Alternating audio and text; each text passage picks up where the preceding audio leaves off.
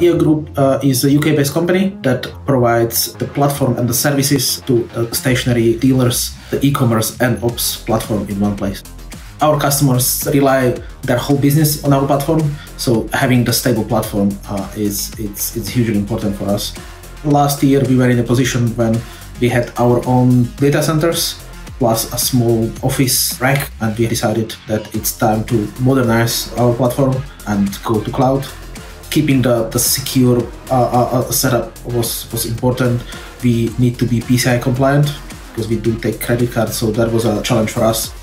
One of the key decisions for us was kind of having both the managed service and the security under kind of one roof. We've done quite long research with different companies, and Transparity came on top, and we kind of haven't haven't regretted the choice.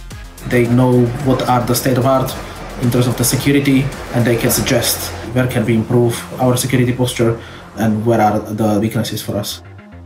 We migrated uh, 110 virtual servers into Azure in two months with no downtime. That kind of shows the diligent work of Transparity, creating the plan, creating the ways, and, and working with us to identify the dependencies. As any kind of e-commerce, public e-commerce website, we need to kind of prove to external companies that we are secure and since we joined Transparity we haven't had a single failure in our security checks.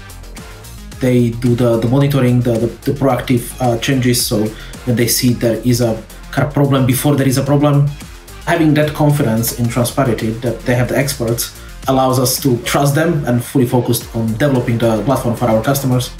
Some of the people in Transparity count as my friends because uh, we had very close relationship if you need something quickly, we always have somebody to talk to. We have the our teams integrated, so I can just send a message to people in Transparity. If I have an urgent question, I can just shoot a question in the middle of the night, asking them about about something, and, and I'll get a response. So uh, yeah, it's definitely been a been a pleasant experience.